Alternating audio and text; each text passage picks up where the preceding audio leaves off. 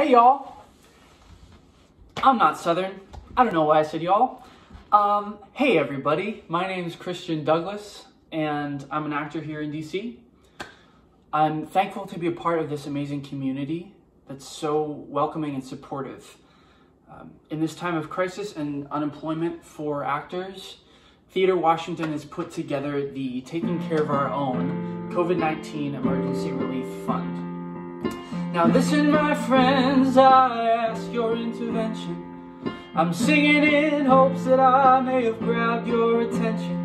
In these hard times, hard times, we're gonna get by and we're gonna thrive.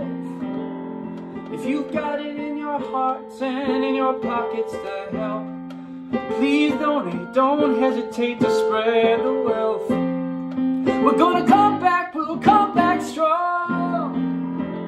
Yeah, we're gonna come back, it won't be too long.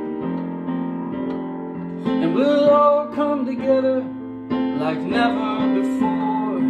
For the people that we love and this art form that we adore.